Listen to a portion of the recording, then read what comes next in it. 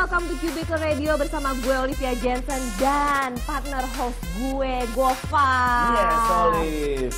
Kita berdua banyak banget hal seru yang bisa diobrolin hari ini ya, Olive ya. Yes, mengenai generasi kreatif Indonesia yang memberikan karya-karya yang heboh dan gak kalah happeningnya, Gova. Betul, karena kita punya banyak anak muda yang inovatif dan kreatif. Oli, Derry, sedang apa kau di sana bersama pria lain? Derry, hei. Eh, bentar pak, saya kan lagi dramanya sama bapak itu, bapak nggak usah ikutan. Iya. Oli, jelaskan padaku ada apa ini? kau mau tahu sebenarnya ada apa ini? Ada apa jelaskan padaku? Kita lihat ada apa di Cubicle hari ini. Bayarnya sih kalau di sini kan? 200 dolar per kepala. Cuma pas gue tanya asistennya sih bisa 800 dolar. Sekitar 8 jutaan ya. Iya. Eh, berarti dari sini eh, harus menggunakan ini bajunya. Ini bajunya. Nah, Very colorful banget. yes, ini very colorful. Ini ada wetsuit. Jadi aja ya biar di laut walaupun gelap terlihat dengan Oke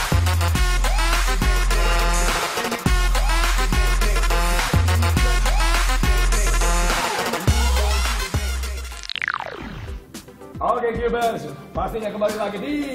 Cubicle bersama gue dan Gofar. Ya, ada saya juga di sini. Ada Ternyata dia. dia orangnya tadi. Iya, Dan. Oh, ini mah teman lama saya. Eh, iya, sekut habis. Sekut banget ya. Iya, makanya.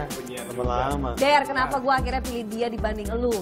Tahu Ya, kenapa? Memang lebih terkenal dia. Bukan, karena dia selain dia juga host, dia tuh bikin vlog gitu, Yoi. blogger juga. Gofar Hilman ya, penyiar radio iya. Vlogger, youtuber, Ah. pemain film, Ah. sinetron. Masa kurang gitu? Semuanya disikat. Semua diembat sama dia. Iya, karena kayak lagi di balik eh, kalau ditanya balik ya. Iya. Fashionnya apa gue, Pak? Eh. Nyari uang. Eh, iya. Itu lu cukur rambut sama hairstylistnya Jared Leto. Tuh, si Sugar Skull, aka si Carlos Ramos itu. Ya bener lu. Ah. Awalnya ketemu gimana? Awalnya dia eh, ini apa namanya ada komunitas barbershop di Jakarta, terus ngundang si Carlos Ramos ini. Terus eh, siapa nih kira-kira mau korban dicukur terus mereka kayak sepakat gitu eh, si eh, Gofar aja. Di akhirnya profil gue dikasih si Ramos, dia mau. Oh. Nah, eh, soalnya agak susah nih nyukur sama dia orang nih. Bahkan orang luar pun banyak artis-artis yang nyukur sama dia tuh susah. gini gini sekut habis inti itu kayak di dasar-dasar ini cuy emang inti itu kayak pakai apa tuh yang buat ngeringin rambut? Hair dryer. Kata dia beli hair dryer yang mahal dan bagus karena itu investasi. Gua kan beli Soalnya gimana milih dan juga mahal misalnya. Iya iya. Bayarnya sih kalau dia sih Mahal, ngakunya kan? 200 dolar per kepala. Cuma pas gue Oh. tanya asistennya sih bisa 800 dolar. Sekitar 8 jutaan ya. Iya. Ini kita bahas eh, passion aja lebih dalam. Oke. Dari mulai salah satu deh vlog. Ah. Awalnya gimana nih? Lu dari penyiar tiba-tiba Kok bisa kepikiran vlog ya, Der ya? Oke. youtuber lah. Eh, gue sebenarnya sih nggak terlalu suka sama istilah youtuber atau vlogger atau apalah itu. Oke, oke. Karena gini loh, tren itu kejam cuy. Vlog itu kan kayak cuma istilah yang baru beberapa tahun ke belakang datang gitu kan. Betul. Gue lebih suka disebut yang namanya content creator atau video maker. Nah, Nah, karena mediumnya itu bisa apa aja.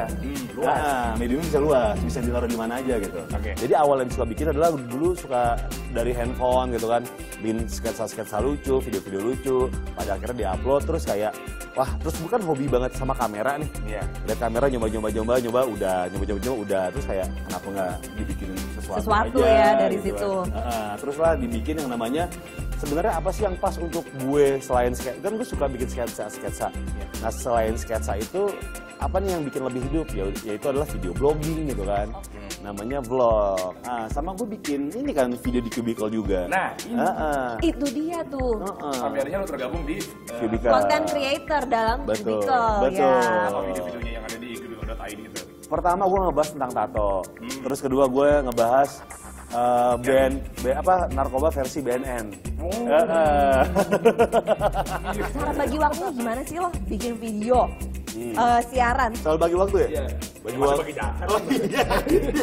bagi waktu dulu baru bagi data. itu udah setengah persen jadi kan gue suka emang hobi ya jadi kayak nggak nggak kayak kerja gitu kan lagi siaran bisa sambil syuting gitu kan sambil sambil bikin bikin video terus abis eh, di sela-sela nunggu break syuting gitu bawa laptop untuk edit edit Walaupun sibuk, kita bilang apa? Sekut Sekut Sekut. Apa sih itu artinya sekut-sekut? Gua nggak ngerti. Jadi sekut itu tuh sebenarnya bahasa anak tongkrongan tahun 80-an. Masa? Iya, iya. Itu sikut. Itu sikut, itu sikut. Demam. Itu sakit. Jauh. Oke, ini buat viewers misalnya penasaran nih sama karya-karya lo ya yang lo tuangkan di cubicle kan. Tuh. Gimana caranya sih biar Oh. bisa tahu? Gampang banget. Lo klik aja cubicle.id, habis itu eh, klik jelajah, terus lo eh, tulis yang namanya Gofar. Masuk. Sekut banget ya. Sekut ya, sekut ya. Wangi tangan. Iya, Pak. Iya. Aduh. aduh. Thank you banget ya. Iya, iya, iya. Thank you dari. Thank you Siap, Iya, oke. Eh, gue duluan tapi ya. Mau ke mana nih? Mau ke Bali. Oh iya dong. Aduh. Aduh, mau ke. Bali. Biasa. Kita jangan mau kalah ya. Oh, kenapa? Habis ini kita juga bakal ke Bali. Wih, selain ini, gue mau kupas semua hal yang ada hubungannya sama pulau dewata yang ada di. Stay tuned only on. Cubicle.